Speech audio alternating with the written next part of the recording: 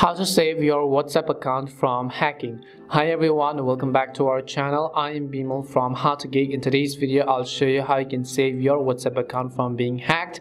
So you simply want to make sure to watch this video till the end. Now, in order to save your WhatsApp account from being relatively hacked, what you could do is one of the first ways to do this is to simply never let anybody know your phone number until and unless they are people of your contact. For example, if they're not on your contact list, you do not always want to leak out your phone number because once the hacker or the person who's trying to get access to your account has your phone number, they can easily go ahead and then log into it. Other thing you want to make sure is that you don't just pass out your phone to everybody else because even if the person does have a phone number if they don't have the code that is received on your phone then they will most likely not be able to log into your account so you want to be aware of that. But one of the best things that i always recommend you do is to always turn on two-factor authentication. So what this does is that whenever somebody tries to log into your whatsapp account using a phone number it will ask them for a code which basically they won't have access to until and unless you have access to that phone number. So just tap on the three dots on the top right corner of the screen. Here you can go to settings and you can go to account over here. You can see two-step verification. Just tap on two-step verification. It says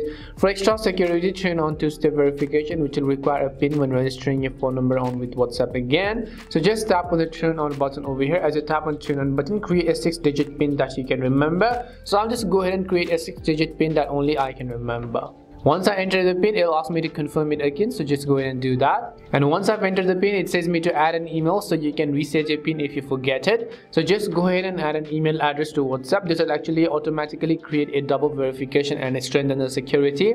And tap on the next button. It will ask you to confirm your email address. So just go ahead and confirm the email address that you just entered. And just tap on the save button again. Now you can see it says applying setting. Two-step verification has been turned on. Now when someone actually tries to log into your account, they'll have to enter enter the pin that you've set at the same time they also need to enter the email address.